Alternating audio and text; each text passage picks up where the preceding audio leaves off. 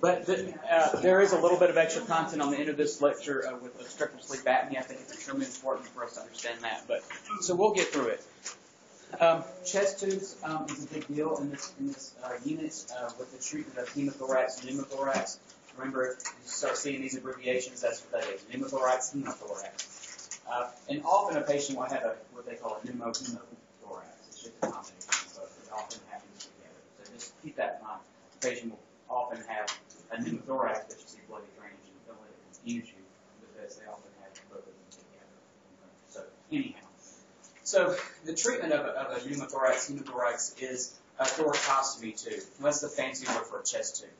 Um, so the chest tube is put in during a sterile procedure. Usually it's put in at the bedside um, or the OR. Um, so if it's if the chest if the injury has happened within the hospital, if they've been on the vent, and the vent has given them attention pneumothorax, then they'll do it at the bedside. But if the patient has a chest surgery or something like that, they'll come back from the operating room the? So, but just be able to uh, manage the chest tube is your biggest responsibility. But the chest tube is this tube right here, and that tube is placed into the pleural space. Remember, the pleural space is where the fluid or the air is. So the purpose of the chest tube is to evacuate any fluid or air from the pleural space to decompress the lung, because the lung was compressed by the air of the fluid, so it decompresses it and lets the lung expand. Okay? The chest tube, which is the actual tube that is inserted inside of the body, is connected to a drainage tube and a drainage collection device, a drainage system. So a lot of people will call the things on the floor the chest tube. Well, that's really not the chest tube, that's the drainage collection tube is what's in the chest. When you see chest tubes, sometimes they're in different positions. Sometimes you will see them actually anteriorly, you know, on the front of the body, and but usually you will see them laterally. Um, but realize that a chest tube will be placed higher on the chest and more anteriorly if it's air, right? That makes more sense air goes up. Um, and if it's a hemothorax, more fluid that's in there, um, it will be placed lower and more laterally. Okay. Sometimes you can see chest tubes put in posterior too. This isn't going to work.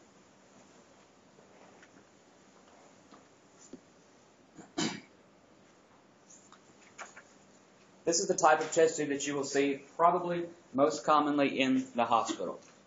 So um, this is the collection device, right? So um, the, the, brand is Atrium, and probably every hospital in the city uses this brand. So if, you, you've been in clinical or if you've been working in the hospital for a while, you've probably seen one of these and maybe you didn't know what it was before, you were afraid to touch it. Um, so the um, the chest tube collection system has three chambers. You look at this and you say, well, that looks like five to me, right? Well, this chamber here is all one, right? This is one chamber, and that's the other chamber. So the first chamber here, chamber A, is the suction control chamber. That's where the suction is connected to. So this little piece right here um, actually one of those pieces would stand up and attach to suction. So the suction is, is connected to this first chamber. In that chamber, you put water. Sterile water is put in. Usually, we do have dry suction, but for our purposes, we'll talk about the water. And then you have a water seal chamber. So that's all of this. It's B and C. So this is there's also water put into here, um, and this the C uh, section right here is the is the air leak detection part of the water seal chamber. So if the patient has an air leak, and we'll talk more about that later, you can detect it and the severity of it here in this C section. The collection, where the actual fluid goes, is in this uh, D side. So it would begin up here. So this piece right here would connect to the actual chest tube, and it would drain into this, and, and so it would start to fill from zero and work its way up. And as this one gets full, what happens? It spills over and starts to fill this one. Fills up, it spills over and starts to fill that one. And the reason for this, why, you think, well, why don't we just have a big giant collection thing? Well, it's easier to measure, number one, and also the drainage can change in color and consistency and things like that, so you can assess changes. So this very frequently, you'll see your patient, maybe all three are nearly full, you see that this one was red, this one was serosanguineous, and this one ended up being sanguineous. So you can see that the bleeding is if it were all mixed together, it would just look all serosanguineous. So it's better for assessment and measuring. All right. Like I said, sometimes the chest tubes are emergent or emergent is put in at the bedside in the ICU, patient's on the vent, whatever, something happens. Um, and this patient becomes acutely dyspneic, tachypneic, you assess, no lung sounds, call the doctor, set up chest tube, and we're putting it in. This happens in about 30 minutes, right? So you, we have a lot of responsibilities that go along with this. So this is an invasive procedure, so an informed consent should be obtained if possible. When you are in this situation and um, the physician or whoever is putting this chest tube in, chest tube in says, "Give me the supplies," well, you have to know what to get. All right. So the biggest thing that you need to have is a, is a thoracostomy tray or a um, a chest tube tray. It's the same thing. So for the chest tube, they do it in the patient's room, not go to the surgery room. At the bedside. When you say at the bedside, what does that mean? In the patient's room, right? So, um, chest tube, thoracostomy tube, um, tray, and if that is not available, what should you order? You search for a combo tray. That's right. A combo tray pretty much has everything. It's this big thing with a whole bunch of different tools in it. The physician is going, going to want a chest tube tray if they have it. And this comes up from Central Supply. It's got all the sterile supplies on it that they need in service. The general supplies for insertion of anything into the body, right? Lidocaine, sterile gloves, gauze, all of that, those things. Make sure that you get the chest tube and you get the chest tube drainage system. The chest, the chest tube is also sutured in, so you would need suture. If the patient is fairly stable, um, they can be sit, they can sit up, which is probably the best position put a chest tube in. Um, but also the patient, the patient can be sidelined, but it's your responsibility to position the patient, stay with the patient, make sure they're still. You get, like I said, you get the supplies, you keep an eye on the patient, uh, you uh, make sure the sterile technique is not breached, and also you're responsible for connecting the chest tube to the device after it's put in. So when, when they put the tube in, they will have hemostats connected to it. You know what hemostats are? Just clamps. So clamps on it as it goes in, um, because we don't want to create an open flow between the the environment or the atmosphere. So as it's put in, it's clamped, but then it's your responsibility to connect it and then unclamp it and let it go forward. Okay, so you have to be there the whole time as this is being put Mr. Sampson? in. Yes, ma'am. Um, just a quick question. First, you would get a chest tube if you have too much fluid in your chest, obviously, right? Yeah, the pneumothorax or Or the hemothorax. pneumothorax. And they put it in, and then they drain it. I, I watched their YouTube video. And then, how long do they keep that in? It stays in until it stops draining, and the patient's lung has free fluid. It could be in for a week or two. I had the same patient two weeks in a row, and he Same still had a chest tube. tube, and then when I came in, he still had a chest tube the next week. too. Yeah. So he's been in for like three weeks. So, but it, it'll stay in for a little bit. If, if they just, if they feel like it's not an acute problem and they need to drain something off, they'll do a thoracentesis and just pull it off and then go. That's what I saw. Yep. Photosynthesis. Yeah, Mr. Sampson, Yes, ma'am. This might sound silly, but this is closed, so what do we do when it fills up? Does it go in a red biohazard bag? What We'll talk we- about it. Yep. Because we, and then we just dispose of it. We'll, we'll talk about the, all that stuff. We got a few more slides. Um, so when at, at, before the insertion, you should prepare your drainage system. Um, make sure that the um, the water seal chamber is filled. That the water seal, that the suction chamber is also filled uh, with uh, water. I talked about how you connect the tube, the drainage system to the tube after the after the insertion, and it's also very important that every connection between the tubing should be taped and nicely secured because if it's not nicely secured, it could cause what we would say an air leak. We don't want that to happen. Nine times out of ten, when the tube is first put in, it will be to suction. So you need to connect it to suction initially, um, and it's to low suction. Uh, but, all, but by putting fluid into the suction chamber, that regulates the amount of suction that it gets. So really, you could, you could put the, the wall suction up to high, and the patient still would only get maybe negative twenty centimeters, you know, um, but that's really unnecessary. So you just put the wall suction at low. You anticipate, uh, gentle bubbling in the suction chamber. Put a star here, underline okay? You anticipate that there will be bubbling in the suction chamber. Because there's suction attached to this, it's pulling back, negative pressure, causing bubbles. That's okay. You don't want it to look like a hot tub, but um, uh, some bubbles is, are expected. They should be there if it's suction. Gentle bubbles. gentle continuous bubbling.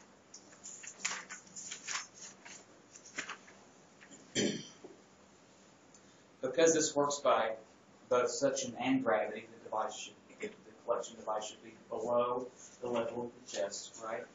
Um, because because it, it stands kind of like a, a tower and it's very thin. It's not very thick, so it can easily fall over. So there's this little kickstand down here that kind of helps to prevent that, but that really doesn't do a whole lot. Um, so the, I think the best thing to do is to attach it to the bed. So you can, it's got hooks on it. You can hook it onto the side of the bed. Or if you can't do that, if that, that bed rail is in the wrong position, it's not working, you uh, put some silk tape on the floor to hold it upright. Because if it turns over, it's going to make your life not so fun. Um, but if it knocks over, what's the first thing that you should do? Take it out. All right. So um, some nurses will tell you if you knock the chest tube over, you have to get a new one, or a chest tube drainage device. You have to get a new one. That's not true. You can save it.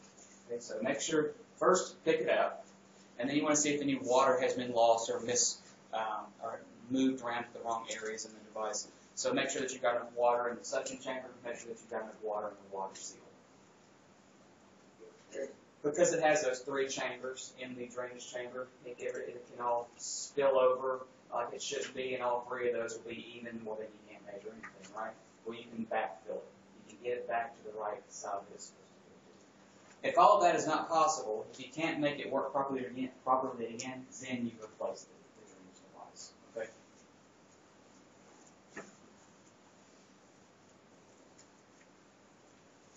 We talked about air leaks briefly, um, but the, an air leak is means that there is air entering the, the drainage system from somewhere uh, that is unexpected.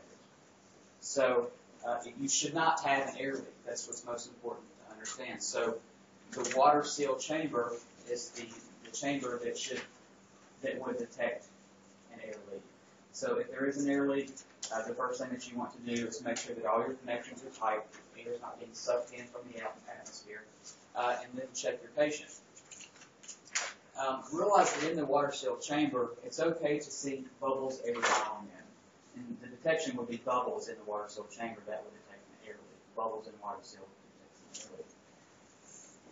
But you expect every once in a while to see a few bubbles. That's okay, and that's probably and it would be expected, especially if it's an initial insert on a hemothorax, because you want the air to be pulled out, right? So bubbles here and there are okay. Occasional bubbles in the water seal chamber are okay. I said that about five times. Um, but if you have continuous bubbling in the water seal chamber, what's going on? Air right?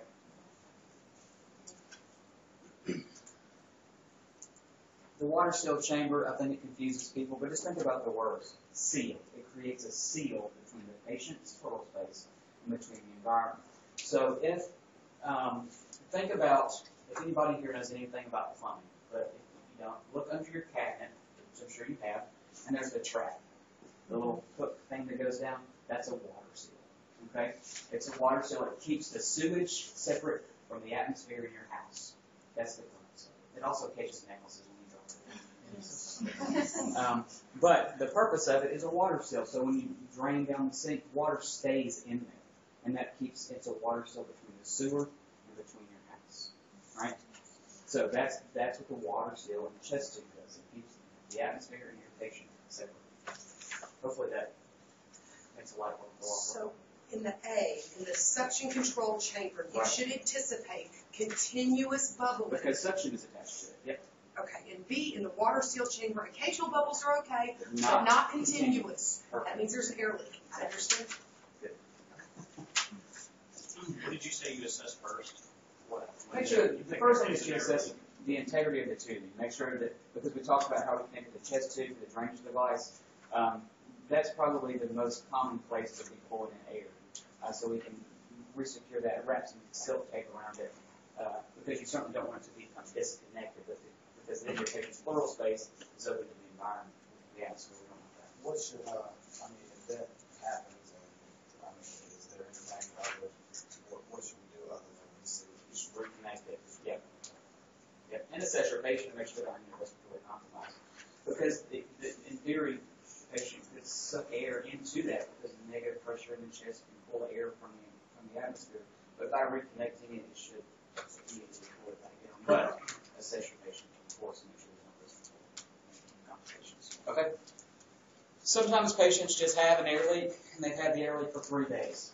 This is nothing to be excited about. Somebody knows about this. Uh, in report, they're going to say, you know, when the patient has an air leak in the chest tube? And you're going to say, okay, so when you go in to assess the water seal, you don't get excited about the bulbs in the water seal chamber, right? So it's ongoing, somebody knows about it, the patient's okay, we're just watching. But a new air leak, not good. Okay? In that case, they would have checked all the connections and taped everything out. They probably did a Still chest not. x-ray and looked at the patient, redressed it, resecured it, everything. So there's just an air leak from somewhere.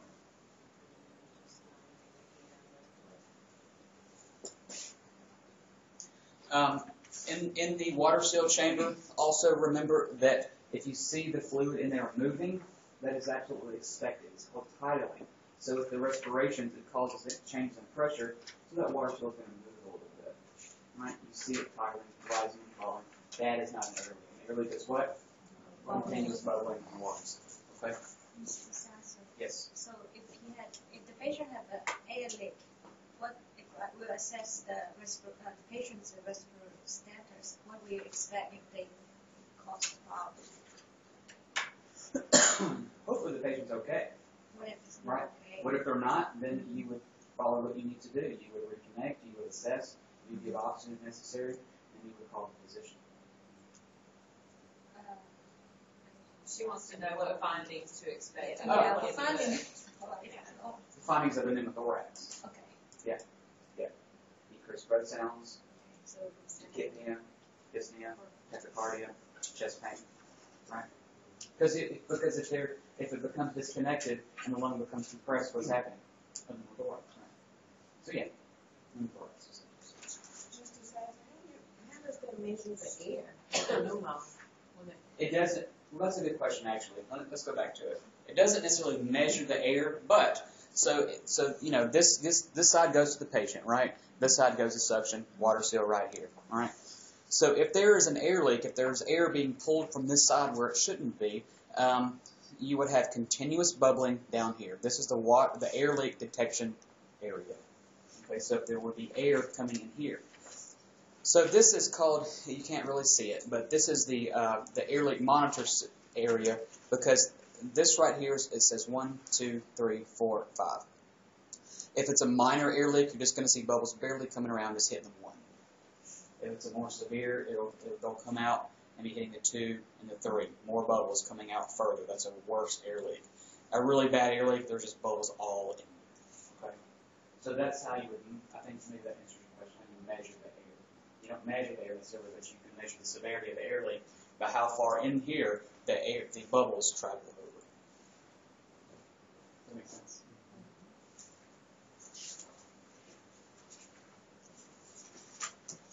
The chest tube should have a dressing on it. The patient with the chest tube should receive at least Q4 hour assessments. Um, the dressing should be uh, nice, secure, but it should not be occlusive. If it's occlusive, that could cause a tension pneumothorax. Because if there's any air in there, we want it to escape if it needs to. We simply want it to be covered and not so secure. So just remember that when you have that, that um, dressing, that you should have three sides taped and one side should remain. Alright? Often what nurses will do is they think that's supposed to be real tight, secure, and they'll get gauze and they'll put tons of silk tape over it and make it real secure and think they're doing a really good job. Um, but really you should leave one side untaped. Usually leave the bottom untaped because that's the part where the tube comes out. So just leave that bottom untaped, sides and top tape one side, and I'll take it. Um, often, um, what you'll see is a chest tube with the drainage tubing just looping down on the ground and coming back up. Well, that's called a dependent loop, right? Because what it gets trapped in there and it can inhibit the flow. So it, the best thing to do, it's hard to, to visualize, but you know how you get a water hose and you wrap it up, you know? Kind of wrap it up in a circle and just lay that in the bed. And therefore it can easily go from the and drain right down into the chest. That's really how controllers should be too. It's hard to do that to them, but you shouldn't have a dependent loop in the because you trap that. So make sure that it's draining nicely and there aren't any kinks because if there's kinks, what could happen? Attention in the thorax, right? And escape like it's. I have a question. I was reading in the book, I got confused. Okay, it says, okay, whenever you want the system to be a closed sealed system, um, it says it's vital to prevent air from entering the pleural space and you pretty much make an open pneumothorax, right? Is that, is that, did I read that right? It's an Technically, that's what you're making with the, Technically, because you're allowing it to escape, but it's not. But the air is not entering the pleural space; it's only exiting. okay, and then that's, Yeah, and we then don't want it to enter. tension pneumothorax, that's with the gauze and the That's all that if stuff. that's if you have um, air leaking into the pleural space, but it can't escape. So we could cause that with potentially why you with, don't wanna this do tight it. tight dressing and a kink tube or something like that. Okay, I was Because you can't- confused because one said to sense? close it all the way, and the other one says don't close it all the way. The system, the system is a closed system, but still it's able to air is able to escape. That's the whole purpose in fluid. And the air leak tells us that there's an opening somewhere. It's not the closed system. Um, two things that we should never do to a chest tube, usually. Um, two, one thing that we never do is to strip or milk the chest tube. What the, you, you may not know what that means, but just imagine if you were to milk a cow and how you would squeezing, pulling down, and stripping things. Because sometimes you have uh, clotted blood that gets stuck in there, and you get sticky stuff, and this isn't drained good, you know, and, and you will be tempted to strip it. Because sometimes you do strip like a JP drain. You, you strip JP drains, except if they're on the drain. Um, but we, we can do that. But don't strip a chest tube because what you do by stripping, you create negative pressure in the, this tube that is inside of the patient, the the tube that's in the patient, will, can suck against the lung and cause trauma. So don't strip the chest tube or milk it. Same thing. What you should do if you have something stuck in there is you just gently massage it and squish it around. Hopefully you can get it flowing out. If not, we can, we can irrigate it. Um, but we would, we would ask the physician to do that. So, Shelley, you're going to see much worse things than that. Imagine the day that you see maggots coming out of your I mean, you're going to see it all. All of it. Why don't go work somewhere? What's You your know, opinion you're right, you're right, you're right, you're right, seeing it is better than smelling it all. You know, I was going to ask on. All right. But also, one thing that we should not do is, is clamp the chest tube. So you, you might be tempted to clamp the chest tube to, to see if the patient does okay, because if you clamp it, essentially it's not there. So if you, you clamp it, you know, that's an assessment for um, if the patient can tolerate without the chest tube. But um, that's something that we never do. The only time that we would ever do this is when we change the collection device. So if we're connecting a new tube to the chest tube, we will have to clamp it and then connect it and then immediately unclamp it because we don't want it to be open uh, space between the, the, the atmosphere and the, and the pleural space. Or the physician might order to clamp the chest tube. Clamp the chest tube, monitor the patient closely for 30 minutes. You know, no respiratory compromise, leave it clamped. So that's testing to see if it can be pulled out. Because you don't want to pull it out, oops, they still needed it, you know, and have to put it back in the patient in respiratory distress. So, but never clamp the chest tube unless you're changing the system or if there's an order to do so. Because you could cause what? Attention in the thorax. Talked about the assessment of the patient every four hours, but of of course that's everything. Assess the drainage every four hours as well. If the drainage is greater than 70 milliliters per hour, that tells you that something's going on. It should never be greater than that. So that tells you maybe there's some new bleeding happening, new drainage, something like that. So that should be reported. or if the drainage changes to bloody, cloudy, warm, you know, if it's warm, that means it's going to be active bleeding. Um, so those things should be reported.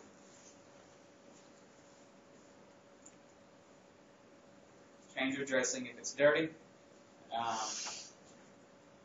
if you feel like that something is bleeding under there, you probably have learned this before, but if you feel like a, dress, a patient is bleeding heavily under a dressing, what should you not do? Remove the dressing, right? You should reinforce it with some pressure. So don't go taking the dressing, oh, this is blood, it's changing, blood everywhere. I'll leave it on put in on top of it, and put a lot of pressure on it. That's unlikely to happen, but it could with a chest tube. All right, already said this. One side should be open, help prevent attention pneumothorax. Just because a patient has a chest tube does not mean that they should not ambulate. We still want them to walk. So what do they do? Look at them carry it with them, right? So um, sometimes the suction, the, the chest tube is connected to suction. That can create a bit more of a problem with, with mobility. But if the chest tube is not the suction, then they can just carry it around, or you can carry it for while they go to walk, whatever. Okay? You can put it on. But chest tubes are portable. Keep that in mind. All right. And don't ever pull out a chest tube. Not fun. All right. They're nice and secured in with some stitches, sutures, but um, you, it, they can still be ripped out. So, but if you rip one out, there was a lot of tension on. Mr. Spencer, do they have, like, at the end of the chest tube that's already inside of your body? Does he have a little ball on the end? of It have a ball, but it's it's it's it's um it's narrowed at the end a little bit, and it's all it also has not holes only in the end of it, but also on in the side along the edge. You know what a French drain is? It's kind of like that. Um, and the edge is also not sharp and just like it's cut off. It's nice and rounded and smooth because because there's a trauma to that space. And the way they keep it in place is, it's not like a Foley with a. No, no, it's sutured in. Suture. And also, what, what we also do is um, on the tube, on the, on the chest, we can some silk tape and tape it real nicely down so that if there is any tension, it catches that tape first and not the sutures to decrease the risk of. You never want to yank out a chest tube. Right? And, uh, Angela, did I answer your question that you had? I didn't? Okay, ask them. I just asked, what do we, as the nurse, what do we do with the collection chamber when it's full? Oh, okay. Yeah, you were right. You you put it in a biohazard bag and you put it in biohazard. Yep. Some places I think have this um, powder that you can put on things that make it harden. I forget what it's called. Um, but you can put that down inside of there uh, because it just decreases the risk of it spilling out as it's going out. Makes it it's, it makes it gel jelly. That's what I said. Yes. So once the, this drainage system is full, it's a new drainage system. You do a new drainage system. okay. No, you don't pour it out. You get a new one. Okay. Yep. Yep. Yes. And you put the whole drainage system, in there? Whole thing. Yep. All right. Any more questions about chest tubes? Let's get through this. Pleural effusion is kind of like the hemothorax. Um, it's fluid collected in the pleural space, but it happens usually over a long period of time. Um, it's not an acute hemothorax. This is some sort of fluid that has collected in the pleural space because of a problem. You can have these local problems or systemic problems, and I'll, we'll talk about transudative. I guess we can say that now. Transudative uh, pleural effusion. Realize that the reason that this type of pleural effusion is happening is because of a fluid shift into the pleural cavity, and it's because of increased capillary pressure or low plasma proteins. Right. So it means the blood is not it's it's hypoconcentrated. It's not hemoconcentrated, so it allows a leaking of fluid out into the space. Or there's increased pressure in the capillary beds, and what happens? when oncotic pressure, increased pressure in the vasculature, it's going to push its way out into the those spaces. So here, what's happening is it's being pushed out. So think about, you know, cirrhosis, heart failure, increased pressure, right?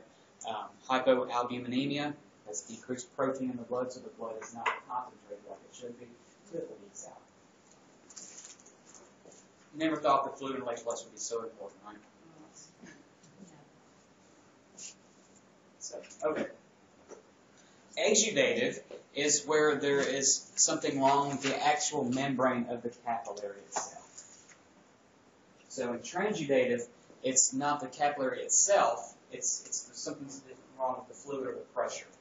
But in exudative, there's something wrong with the permeability of the capillaries, and it's caused by these inflammatory disorders. Remember how inflammation is caused vessels to change.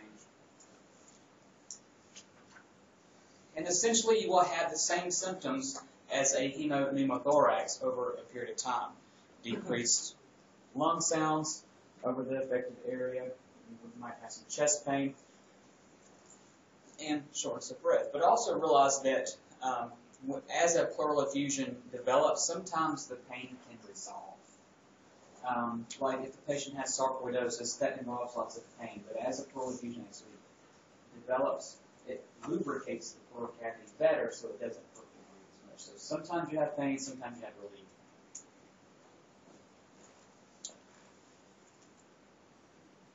Alright. There's a nice little picture. Right? That's the pleural space. This is the lung, the alveoli, right? And this just shows how the fluid is leaking into the pleural space because of this impaired um, wall.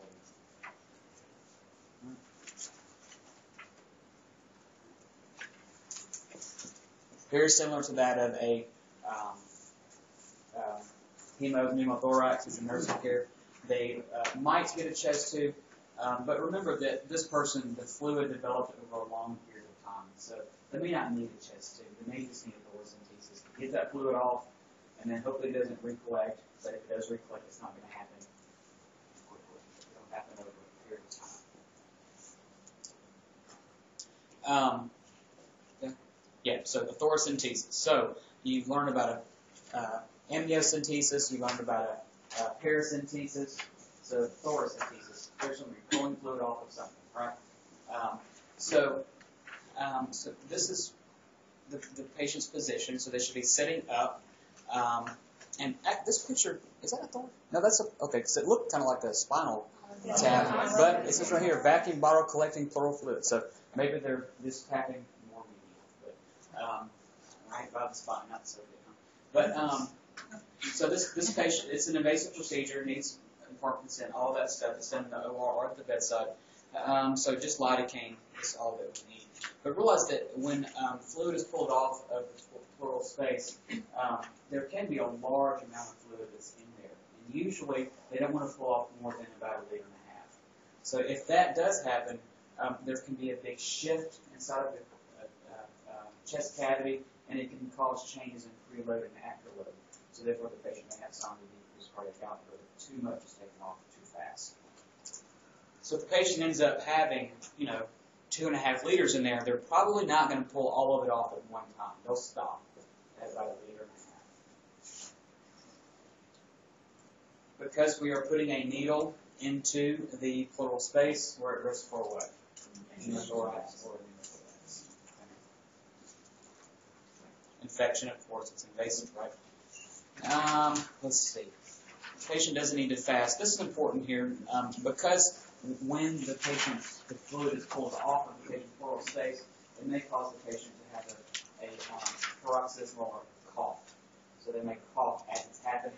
We don't want that to happen because the patient moves, the lungs are moving, and there's a needle right there by your lung. So often the patient's using a cough suppressant before the procedure to help prevent that injury. You saw the positioning that is required, um, and you're monitoring the patient continuously during this procedure. They're positioned on the unaffected side after the procedure. Why?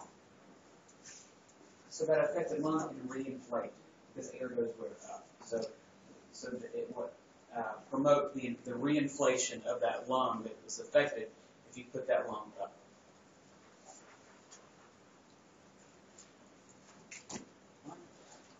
We talked about sending blood gases to the lab and things like that. This is one thing that if we have to take a sample to the lab, maybe that they want to see if there's any infection in it or, or whatever, just what's in the fluid. Um, this is one of those things that we should physically walk to the lab because what because things get lost in tube land, um, and I don't know where things go when they say, "Oh, I sent that BNP an hour ago. We never received it." Somewhere, um, or it's lost in tube. So we don't want this oil fluid to get lost in tube land because why? It's very difficult to go get more. Yeah. So and somebody will be very upset with me. So um, make sure that this is taken directly to the lab. Some of you have seen bronchoscopy. This is another procedure. Uh, bronchoscopy, we call it a bronch. Uh, so a bronch is, is where we put down into the patient's airway a, a tube that has the ability of a camera, a light, you can inject fluid through it, and you can suction through it. It allows us to visualize the airway, okay? Because there might the patient may need a hygienic bronch where the patient has lots and lots of secretions, so we need to wash it out. Because the patient is intubated, they have impaired or infected airway clearance, and we need to clear this airway for them, but more than just routine suction. So we can go way down into the bronchioles with this. The patient may have a tumor, or there may need a biopsy, there may be a foreign body in the airway that needs to be removed. Needs to be done with the bronch. In your setting, probably unless you work in more of an outpatient area, uh, the patient will have an airway, a trach, or ET tube while this is going. Does that person have one? He does not have one. That is, this patient is not intubated, so he's going straight into his nose, right? Which they can do. But It's not done in general anesthesia, is it? This It's a, no, it's it's it's bedside anesthesia that you will do, um, and um, so it's more um, conscious sedation. Yeah, that the RN does, which is a fine line between RN and CRN. Um, so there's lots of lots of monitoring that goes on with that. See, I saw one on YouTube because I was trying to get those other things you put on here. And they had him up at thirty, He semi-power, was sitting up. and he was awake. Yeah. And they sedated him and then sprayed in his mouth. I think I've seen that video. But it And did it not look like a happy time. Yeah. I would never want one there if I listening to Yeah, I mean, it just did not look like a happy it. time. And I never wanted to be into it. So, um, Levon Health had this study, so we used to go swimming. All right, so your nursing care surrounding a, a bronch, of course, it's invasive, so informed consent from someone should be um, obtained if it's the patient or the next of kin. Um, if we're going in without an airway, meticulous mouth care beforehand is a good idea because it's a very dirty place. Yep. So chlorhexidine would be a good idea. Um, make sure that there's plenty of suction available in case we need to suction the patient's airway, and the patient is at risk for uh, the of resuscitation during this procedure. So it's very, it comes with risk. It's not done lightly. The patient um, will receive pain medication, sedation, and probably a paralytic. We've already talked about all those three medications, like Versed, fentanyl, and maybe morphine. Um, but also, but just continue to remember that if your patient is getting a paralytic, every muscle in the body is paralyzed except for the heart. So that means that they will improve. So do not leave the patient a paralytic. You kill it. All right. So uh, the patient who is having this procedure without an artificial airway would receive this pain medication and sedation. They would not receive a paralytic because you would kill them. A paralytic should not be given if the patient does not have an artificial airway because they will will not breathe. The The diaphragm is paralyzed. Yeah. The only muscle that is not paralyzed is the heart. Because if the heart's paralyzed, we'll just kill the patient. So, all right. So the patient is at risk for laryngospasm, bronchospasm, so that increases the risk of the patient's clo- airway closing off. Um, the, the, the airway can be perforated by this device. We can cause a lot of problems, infection, cardiac distress. Okay. So um, the respiratory therapist is going to work more closely with the physician during this procedure. Your responsibility is to do what, Tina? Assess the patient. Yeah, your patient got a bronch. Was it your patient? Oh, I should be. in. I should be thinking of somebody else. I think it, uh, it was it was you. So, um, so during the procedure, um, as a nurse, what did you do? You watched the patient, but you also watched what? The bedside monitor, right? What were you assessing She's in shock. what were you assessing? She was watching the vital signs, the heart rate, blood pressure, and the pulse ox to make sure the patient was tolerating the procedure. The main thing that I want to watch is the pulse ox. Okay? Make sure that the patient is still oxygenating during this procedure. We'll put them on 100%, but still, they're not getting air. Well, it doesn't matter how much. GP agrees with all of that. Um, so, um, and also, the, there's can be a sample sent for during this procedure, and that should also be walked on foot because, well, it's very hard to get more. The respiratory therapist will collect it and, and everything, but you'll, you'll be the one to take it down because they're getting all their equipment together and their cart and everything. It's a big deal. Yes. Is that on ice or just regular bag? It should be on ice. If anything going in microbiology, um, it doesn't have to be on ice. It, straight. So the thing that we should not be watching is what I'm going to show you.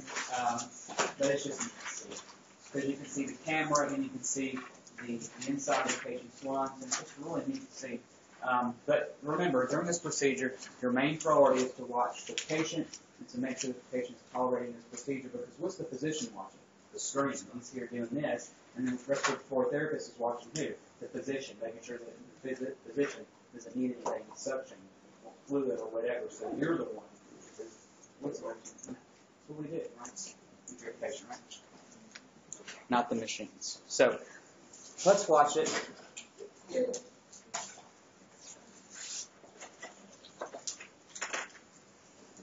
One's one's really long, so we're not going to watch all of it. I just want you to see part of it.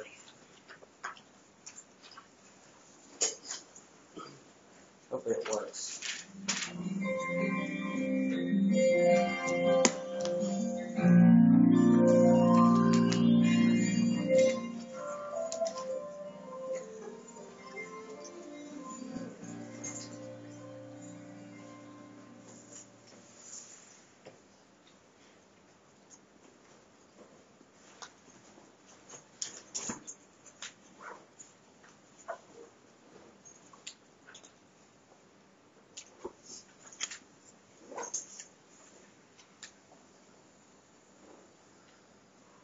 This nose. we perform a tour of the normal segmental anatomy of the bronchi by means of bronchoscopy on a healthy volunteer local anesthesia. After passage through the nose, the pharynx, and the epiglottis, the glottis is reached. After inspection of the vocal cords and arytenoids, the bronchoscope is advanced into the trachea. While staying in the middle of the airway the trachea is carefully inspected. You see how right here the uh, this part of the tra- trachea um, is kind of is kind of flat, and the, uh, the top side is rounded. This is anterior, so that's their landmark. So if they're seeing this, they know that's the front of the patient.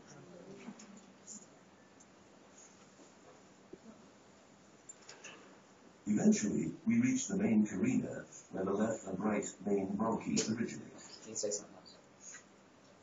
Okay, so the carina, right? So the carina is where if that's irritated. What happens? Lots and lots of coughing, right? Um, so when you suction your patients when they're intubated, the tip of that tube is going right there. It's causing lots of irritation to the carina. So that's why they cough violently when you're suctioning when they're intubated. So we've I and probably your clinical instructors have talked about when you suction, you go down until they cough, then you pull back a little bit, and then begin suctioning so that the end of the catheter doesn't attach to the carina and damage it. But also, um, this is not the best visualization, but you know when you talk about um, the um, when a patient aspirates or if they inhale a foreign body, which side of, the, of which lung is it most likely to go into? The right side. Do you see why now? Because it's more of a straight path. The left side kind of goes off to the side, but that's more of a straight path into the right main stem.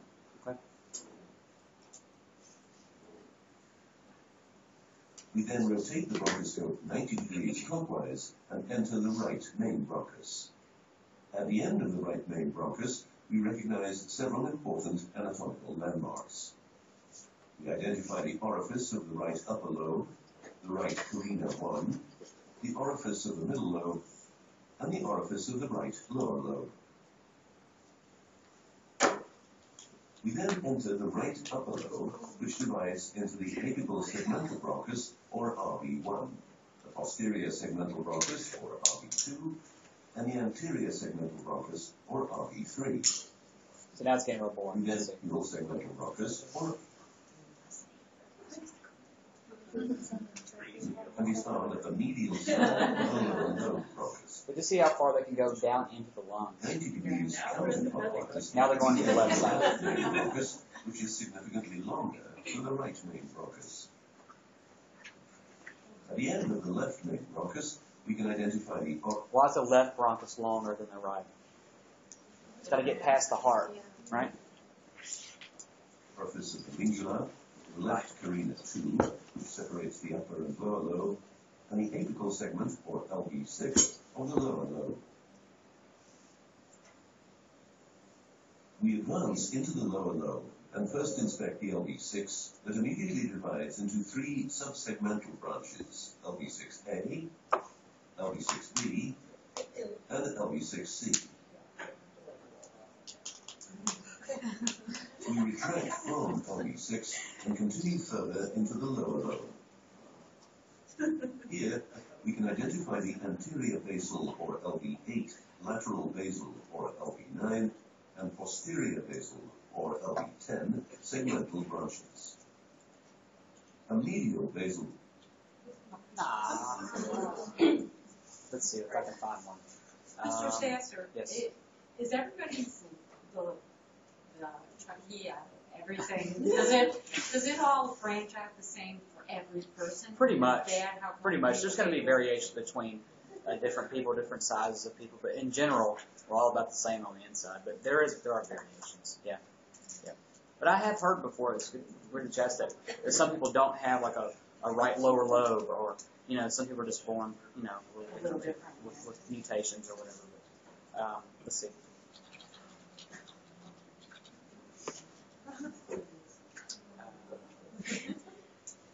Maybe.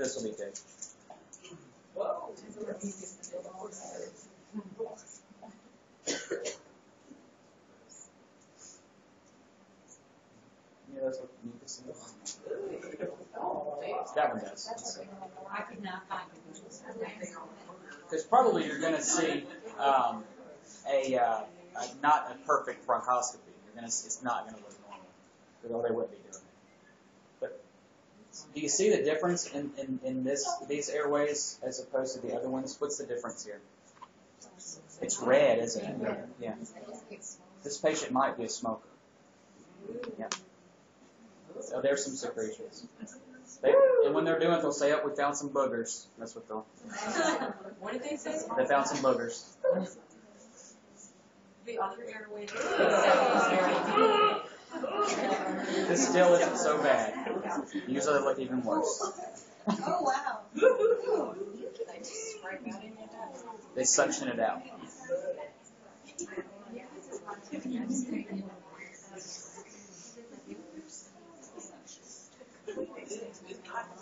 Patients not coughing very often. They're not coughing because they probably got a paralytic. You know. I know we, we used to do this, just have coughing. So this would be a, this says a smoker's lung. Let's see how red it is. That's the epiglottis. See it? And then below it's the vocal cords. Come on. See how inflamed that is?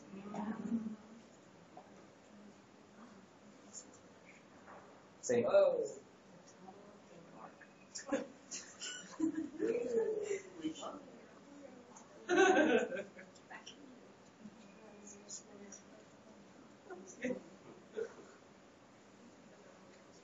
Know what form I'm not working on? Respiratory. Coronary spit from my car. Yes, if you see enough of them, you would be able to discern which were healthy and which were not. But uh, the other one that I had was foreign body. Um, And I, I tried to find the video, and I couldn't find one. and I couldn't get that one. Oh, no, that, oh, let's see that. Ooh.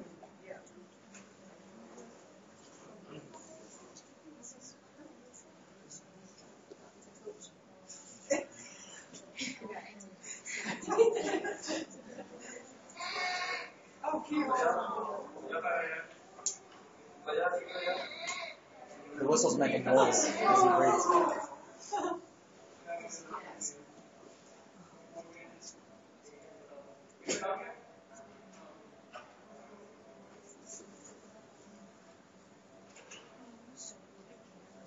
What side's it going to be on?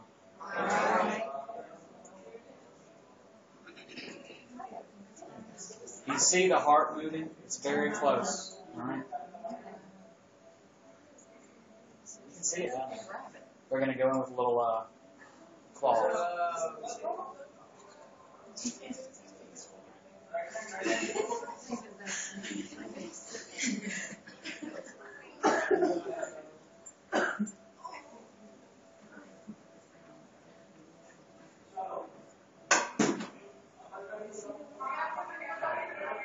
It feels like the rain was from.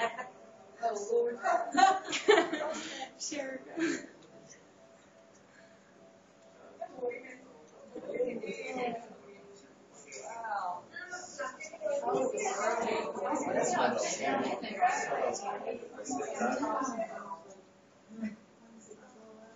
Share middle rotation.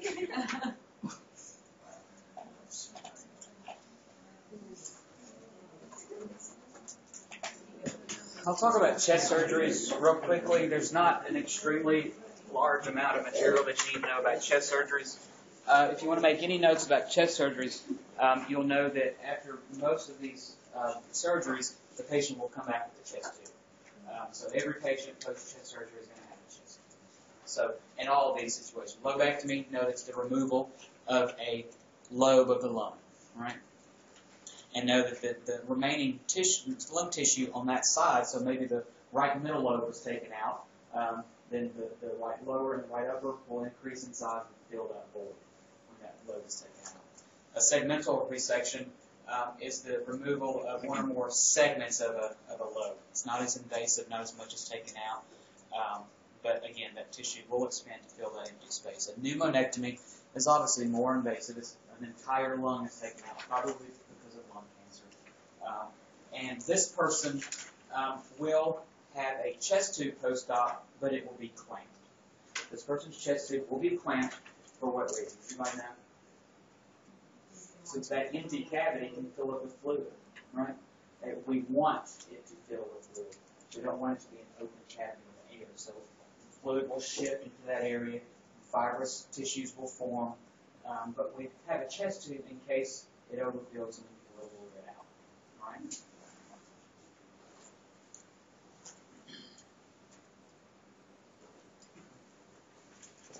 A wedge resection is, an, is even less invasive than a segmental resection. Uh, maybe that's just a biopsy. But again, they will need a chest tube. Um, and decortication is not removal of any part of the lung, but it's the going into the chest cavity and usually scraping out infection. So this person may have had an empyema, which is an infection in the pleural space. Um, it's, it's a, like an abscess in that area. It's just spread, lots of infection in that space. And decortication um, is where they go in and remove this scar tissue and infection. DNC. Kind of like a DNC for your lung. Yeah. The patient um, may have an exploratory thoracotomy um, where they're simply going in and exploring and looking. Maybe the patient's bleeding and they're trying to figure out where they're bleeding from. Realize that a patient may have a thoracotomy and there's nothing wrong with their lungs, heart surgery, right? Esophageal surgery. So sometimes you have to go into the chest cavity to operate on something that's not the lungs. So that's a, some, something else that's being operated on. more and more, we're seeing this um, uh, uh, chest surgeries using scopes. So video assisted thoracic surgery, that's what a VATS procedure is. Um, so if you hear VATS, that's what it is. Laparoscopic. You can even take out a whole lung this, a whole lobe this way, but not a whole lung. The less invasive, the faster a patient recovers, right?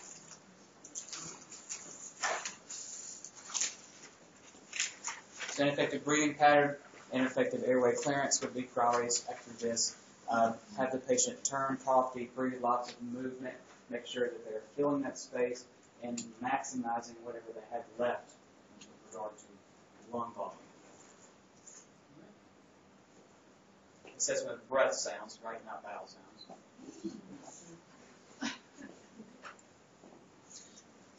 Risk for infection, right, and this is related to your chest tube placement. We talk a lot about chest tubes, but that increases your patient's risk for infection simply because the primary defense is impaired and there's a chest tube in place.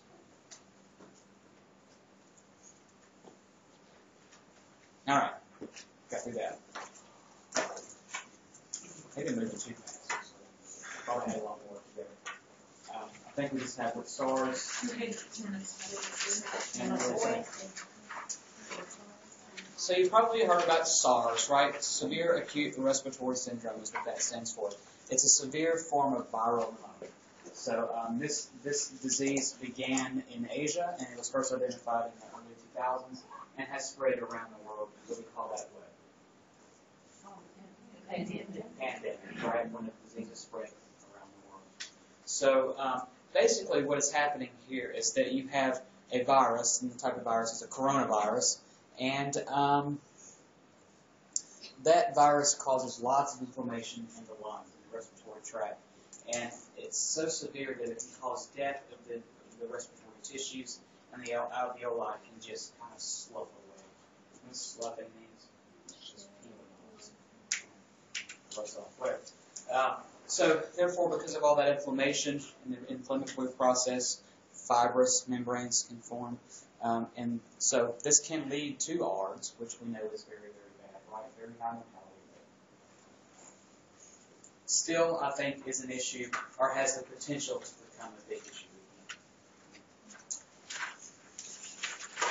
Initially, the signs of SARS are non-specific. It's a virus, so you're going to have viral-like symptoms, right? Fever, achy, cough, maybe. Um,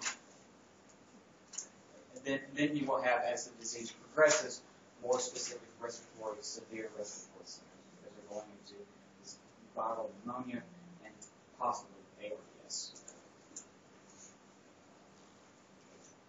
You probably wouldn't know this, but to diagnose a virus, it's usually just clinical.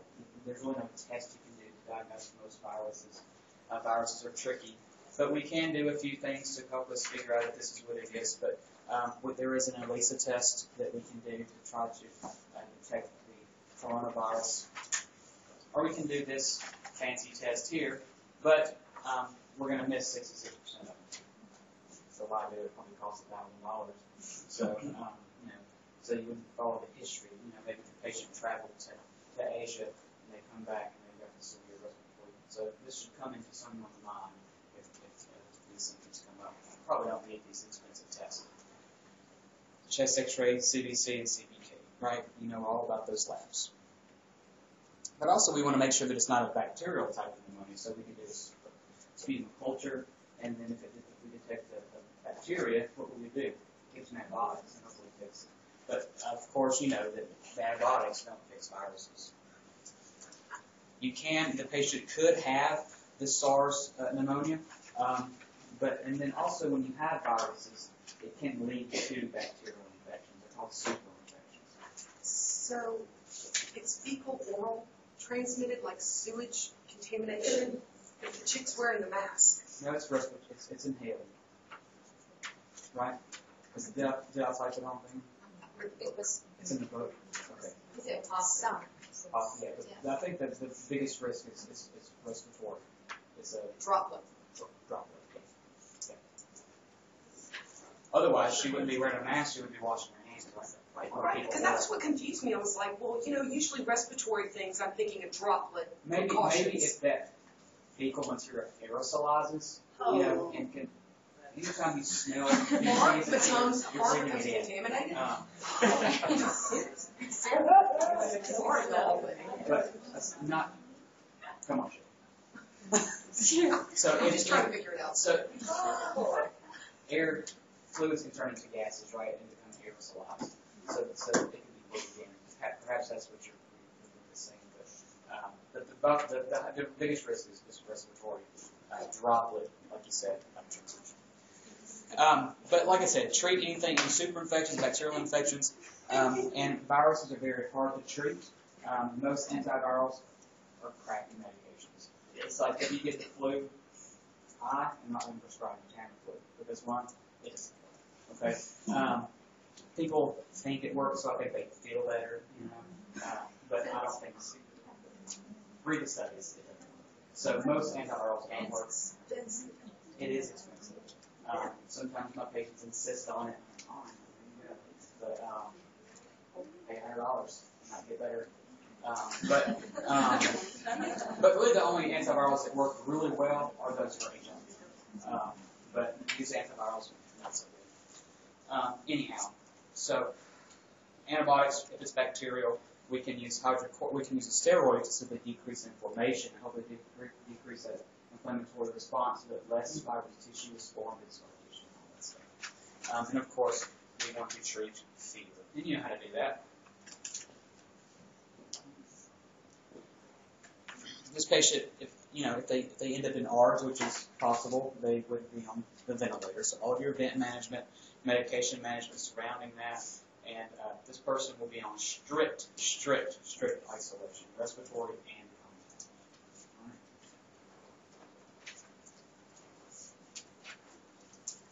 Remember the difference between respiratory and droplet precautions. Just a plain mask for prophylaxis, if people just wear it out in public, that's just going to protect you against droplet. But um, if they're on respiratory precautions, precautions they need N95 mask, right? It is a contagious, it's very contagious, so this person we want to be at home if possible, um, and tell them to, even though their fever has resolved, say your fever stopped on February the 1st, we don't want you to leave the house until February the 11th. Alright? And we would monitor their fever or teach them to monitor their fever daily, strict hand hygiene. Um, so, Speaking about the SARS, I was in China and then it's kind of like pandemic, like every school, whenever you walk in the door, everybody taking your temperature. It's really scary. Like, the whole country, 2002, 2003, 2003, I was, I was sick right before they started regulation. It was really bad. Yeah, so they were checking everybody's. Everybody, Wow. school, every school system, whenever you go to the school, the door, the security guy, stay up, check temperature. If you have fever, immediately send it to isolation in the hospital. Oh, wow. it's really bad. Yeah. So, It's not, it's not a good thing to have. So, um, that's where we used to end, but Lord will continue on. Um, I felt that obstructive sleep apnea is very important, and I think that it's very common in our population, and it um, causes a lot of problems, but it, and it can be preventable. So I think that this is a big nursing responsibility, mainly in the prevention of this. But what obstructive sleep apnea is, is uh, the uh, the cessation of breathing during sleep. And it's, usually, and it's intermittent. If you just didn't breathe all night, you just breathe, right? So it's intermittent absence of airflow. And usually it's due because the, air, the, the airway, the upper airways close off for some reason. There's obstruction. Um, it's life-threatening because of the complications that it causes. So here are your uh, biggest risk factors. Being a large man, um, and if your neck size is greater than 17 inches, you need to lose weight. Um, so if your husband has a shirt that is about 17, 17 and a half, we need to get him treatment because he's at increased risk, greatly increased risk for apnea. That's that's the, the line. For women, it's 16 inches. So measure your neck because women don't buy things I think based on neck size. Right? Older men, and then anything that depresses the central nervous system is going to increase their risk of not breathing at night. So, so for some reason, uh, the the muscle tone in the upper wa- airways have been compromised, probably due to pressure because the patient is overweight. Um, And the pharynx actually collapses, so it prevents the flow of air, prevents what ventilation um, for a period of time. Um, gravity also plays a role, and the tone becomes increased, and you know the patient doesn't breathe for some reason. And that leads to what respiratory acidosis, because you have a buildup of carbon dioxide in the blood because the patient is not breathing. Um, so when this happens, the patient will become um, a little acidotic, and they will become hypoxemic. What happens? They wake up and they make this gasping sound, and there's maybe loud snoring. So um, that's what is happening. Um, and this can happen just a couple times during the night, but a person can do this a few hundred times a night. Not really good situation. The biggest thing here are the complications from this. So what we're going to see mostly, the patient's going to tell us, I can never sleep good, I am always sleepy, I am always tired. So you should think, well, how do you sleep? Tell me about it. I wake up all night long. Okay. So, and then they may they may say, well, I've been confused, my memory's not good, but also because of the ischemia or the hypoxia, it can lead to all of these things, right? Heart problems. So a big risk factor for hypertension and uh, heart failure is obstructive sleep apnea. Other things that we would see or that might report is they snore very loudly. They're always sleeping. They're always irritable. They're restless. Can't get enough sleep. There's a box here that describes all the manifestations of this.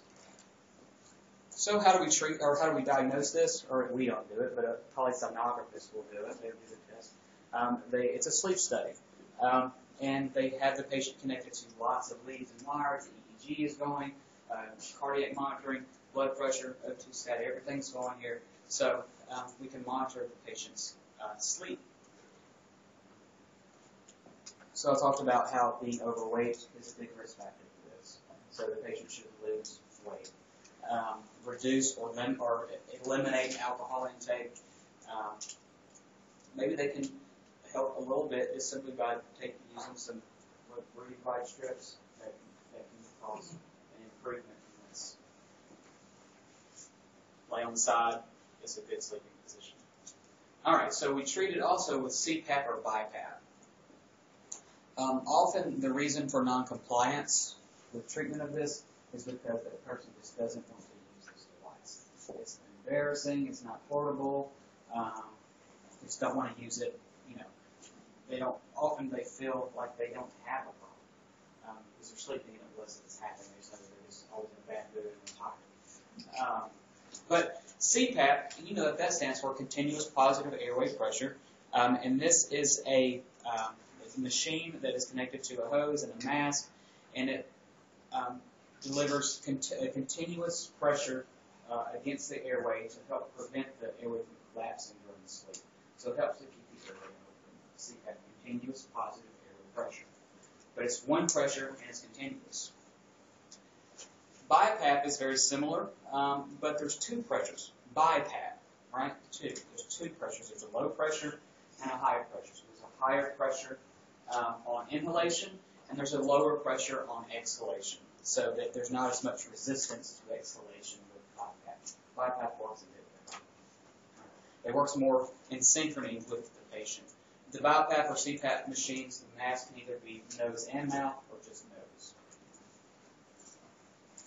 How would you use the CPAP versus the BiPAP? It might be due to um, the, the severity, so they might need the, the, the CPAP if they're more severe, they need extra pressure continuously. But usually the BiPAP is, is just nasal. Sometimes it can be for the whole face. So, you know, it's just a pres- prescriber's preference, patient's response, insurance. But, but BiPAP works more in synchrony with the patient's uh, body. Things that often include the airway are the tonsils and the adenoids. I even have little kids in the clinic that, that the parents, this kid snores like a grown man every night. If they start looking at his his tonsils as big as my fist. Well, the ENT is, is, is, you know, he probably has sleep apnea. So, um, it's a big deal. All right, so here's some nice pictures. So you might see why the patient may not want to wear this. But this can literally save a person's life. Very simple. Um, when you use this machine, uh, the air must be humidified. It's not absolutely necessary, but it will dry out the sinuses and increases the patient's risk for nose, nosebleeds and discomfort. Um, but so it's best uh, for the patient to humidify. So this has to stay very clean, and the patient puts deionized sterile water. It doesn't have to be sterile, but it's just deionized water in this uh, uh, chamber here, and it humidifies the air. All right. Lots of teaching that goes along with this. Prevention. Lose weight. Quit drinking all the time. Um, so this patient can get oxygen at night. Um, so if our body is hypoxic during the night, we're going to have lots of complications. Else? Talked about the properly fitting mask, medication. Tell the patient you got to use it every night. Well, what about when I go visit my son in California? Take it with you. All right, can carry on to the plane. Uh, they make them very portable. They're getting smaller and smaller, so they um, they are portable. Complications, as I said, one nosebleed, drying of the nasal mucosa, but also complication might be skin breakdown. You know, older people get speeding too tight. So them to continuously assess for that. And a lot of times our patient in the hospital will have these, so it's your responsibility to make sure that all of this is, is okay. Sleep, feeling tired because they don't get oxygen, breathing is impaired, the gas exchange is impaired because you may not be ventilating. Right? So taking from this, the biggest thing is the complications of cardiac. So, hopefully, there's one person here can hear being with their dad, um, who must sleep in the chair because he snores so loud and doesn't good. That's okay. Yeah. Actually, my grandmother um, has sleep apnea probably for decades. And her physician never told about it. She always said, I'm tired. She has high blood pressure, heart failure, oh, send you for a sleep study now that you're 70. Yeah, I was ready to say um, I did something think of this before, and it's of course, the nurse practitioner. But, um, but anyway, so that's the end of this. Um, I ended early. So what questions do you have about respiratory? Respiratory is not as near, um, not as much volume as cardiac, uh, but there's still a lot of kind of conflict. Uh, yes? What are the medications involved in respiratory that are important? We talked about um, the, kind of already went over this, but you might see it in the proton pump inhibitors, the uh, H2 antagonists, the bronchodilators, the inhaled anticholinergics. What else is there? Steroids, oh, yeah, maybe. Yeah, we'll get really nice into steroids again when we talk about uh, uh, uh, foods with uh, Cushing's and medicines. But What about the methamphetamine? it's like using Vaseline. No.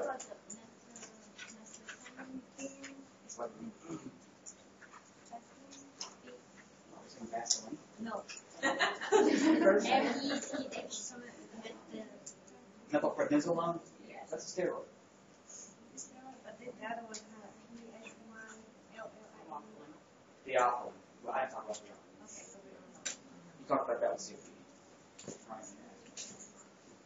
Uh, so not this, this unit is not loaded with medications. Uh, do remember that. do remember that oxygen is a medication. Um, so you people in well, everybody here. Um, so in clinical, when your patient is on oxygen, that should be on well because it has complications and side effects, right? And indications and dosing and all that stuff. So About the cough suppressants. cough suppressants, just know what they do. Okay, so They we should need how all we- the details. Do we need to be expected to be, uh, to be responsible for the first seven pages of slides? as well? Um, I we see probably Provost Pass and stuff on there. I'm sorry, uh, ventilator. yeah. Yeah, I, I I won't ask a whole lot. You might see some more ventilator things on there, but you will see ventilator things on there because of ABGs. So I'll talk about how tidal volume respiratory rate changes what TCO2, right?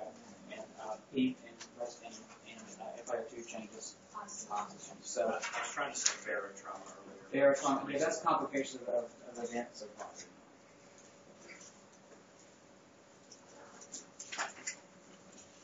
When you say like low tide volume and high rate and all that stuff, do we have to know like what is high?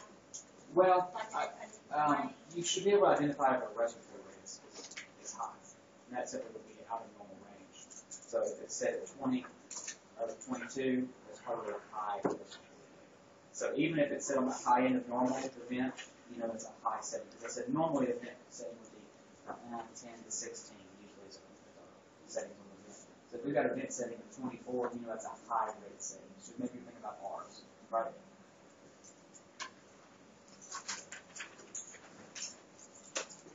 We still got to get the neuro first, right? The PowerPoint's. Oh, that's probably a. Um, I, I, I can't remember. Does anybody have? I guess not. Change it with this. Um, so, but I'm just trying to think of what we probably will get through. Let's look at that since we have a couple minutes. I want you, so you can prepare for um, Tues- Tuesday, right?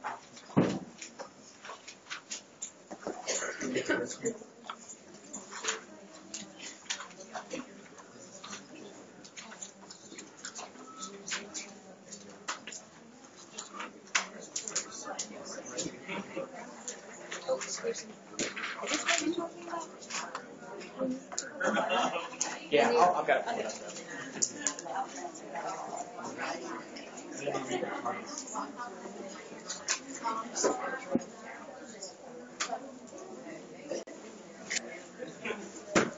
So when you pull up your respiratory slides, the first, or excuse me, neu- neuro slides, the first thing that you're going to see um, are your definitions, but then we'll go back over a, really good uh, neuro assessment, which is important, the Glasgow Coma Scale, um, and all these things that you probably know. Look over posturing and uh, um, um, the neurological assessment. One thing that is going to be a, a big challenge for you is, is, is learning the cranial nerves. Um, so we'll probably begin that over the weekend. Um, and we'll talk about all this. But the, the, the, by far the, the biggest chunk of what we will talk about on Tuesday is, in, is intracranial pressure, uh, specifically increased intracranial pressure. So uh, you need to review that in depth uh, and make sure that you have at least an understanding of what is going on when the patient has the problem of increased intracranial pressure. And we will stop at the end of that, and we will begin with traumatic brain injuries a week from today. All right. So over the weekend, what you need to be learning is uh, increased intracranial pressure, specifically the Monro-Kellie hypothesis, um, the theory of you know, what's in the head. Um, so Do we get all the way through neuro for this test? Yes. I'll put it up to on Thank